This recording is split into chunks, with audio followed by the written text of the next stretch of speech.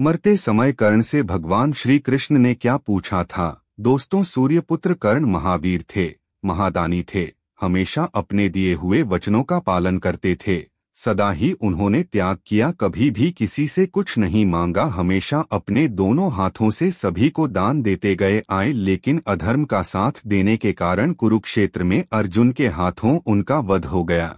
मरने से पहले भगवान श्री कृष्ण और कर्ण के बीच कुछ ऐसी बातचीत हुई थी जिसे सुनकर आप हैरान रह जाएँगे। आखिर मरते समय भगवान श्री कृष्ण ने दानवीर कर्ण से क्या पूछा था? आज के इस वीडियो के माध्यम से जानेंगे। दोस्तों, कर्ण और अर्जुन के निर्णायक युद्ध में दोनों ही एक दूसरे के बाणों को काटते जा रहे थे। इस युद्ध में कभी कर्ण अर्जुन पर भारी पड़ रहे थे तो कभी अर्जुन कर्ण पर भारी पड़ रहे थे। उनके युद्ध को देखकर ऐसा लग रहा था मानो यह युद्ध कभी समाप्त ही नहीं होगा। लेकिन निप्ति ने तो हमेशा से ही कर्ण के साथ अन्याय किया। अब श्राप के कारण उनके रथ का पहिया ज़मीन में धस गया। और तो और उनको अपनी विद्या का भी स्मरण न रहा, और यही वह समय था जिसका लाभ उठाकर अर्जुन ने अपने अंजलि बाण से कर्ण का वध कर दिया। कर्ण को ऐसे हालात में देख भगवान श्री कृष्ण को बेहद कष्ट हुआ क्योंकि कर्ण भले ही अधर्म के पक्ष से युद्ध लड़े थे, लेकिन वे सदा ही धर्म के मार्ग पर चले थे। लेकिन वहीं कर्ण के धराशायी हो जाने से अर्जुन बहुत खुश हो गए थे क्योंकि कर्ण की मृत्यु से दुर्योधन की हार निश्चित हो गई थी। कर्ण जब अपने जीवन की अंतिम साँसें ले रहे थे, तब अर्जुन कर्ण का अपमान करते हुए भगवान श्री कृष्ण से कहते हैं देखिए माधव, जिस कर्ण के युद्ध कौशल का आप हमेशा गुणगान करते थे, वह आज मेरे बाणों के सामने टिक नहीं सका। देखिए वो कैसे मेरे बाणों से घायल होकर मृत्यु के द्वार तक पहुँच चुका है। अर्जुन की बात सुनकर श्री कृष्ण मुस्कुराते हुए बोले पार्थकर्ण का वध सिर्फ़ तुमसे नहीं, उसके श्राप और मेरी बुद्धि से भी हुआ है। अगर मैं और पवन पुत्र हनुमान तुम्हारे रथ पर विराजमान नहीं होते तो तुम कर्ण को जीत नहीं पाते।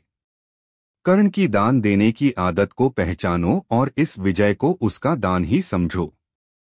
यह सब सुनकर अर्जुन का अभिमान और भड़क गया, उन्होंने श्री कृष्ण से कहा। अगर कर्ण सचमुच दानवीर होता तो धर्म उसकी रक्षा करता, परंतु ऐसा नहीं है। देखिए कर्ण मरने ही वाला है। तो कहाँ गया उसका दान पूर्ण? अर्जुन की बात सुनकर भगवान श्री कृष्ण ने एक लीला रचने की सोची। उसके उपरांत कर्ण की अंतिम परीक्षा लेने के लिए अर्जुन के साथ ब्राह्मण का भेष धारण कर कर्ण के सन्मुख पहुँचे। उनको देखते ही कर्ण ने उन्हें प्रणाम किया और कहा, हे ब्राह्मण देव, आपका स्वागत है। कहिए, मैं आपकी क्या सेवा कर सकता हूँ? हे अंगराज, मैं तो आपके पास दान की आशा से आया था, लेकिन मुझे आपकी स्थिति का ज्ञान नहीं था। चलिए कोई बात नहीं, मैं खाली हाथ ही लौट जाता हूँ। दोस्तों, कर्ण अपने द्वार से किसी को कभी भी खाली हाथ नहीं लौटने देता था, अपने अंतिम समय में भी कर्ण दान देने से पीछे नहीं हटे। उन्होंने पास पड़े एक पत्थर से अपने सोने के दांत पर प्रहार किया और उसे तोड़कर ब्राह्मण को दान देते हुए कहा, हे ब्राह्मण देव, अब मेरे पास दान देने के लिए बस इतना ही है, आप हमें स्वीकार करें। बस इतना ही है, आप इसे स्वीकार करें। महादानी कर्ण के दानशी को देख ब्राह्मण रूपी अर्जुन की आँखें नम हो गई। इसके उपरांत भगवान कृष्ण ने कर्ण की परीक्षा लेने के लिए उनसे कहा, हे कर्ण, आपका यह स्वर्ण दांत खून से लथपथ अशुद्ध है, और एक ब्राह्मण को ऐसा स्वर्ण दान करना उसका अपमान है। मैं इसे स्वीकार नहीं कर सकता, ऐसे में बुरी तरह घायल कर्ण हिलते डोलते किसी तरह पास पड़े अपने धनुष को उठाकर वरुण स्त्र चलाया। उससे जल की वर्षा होने लगी, जिससे कर्ण अपने दांतों को धोकर पूरी तरह शुद्ध करके उस ब्राह्मण को दान देते हैं। कर्ण की दानवीरता को देखकर श्री कृष्ण और अर्जुन हैरान रह गए।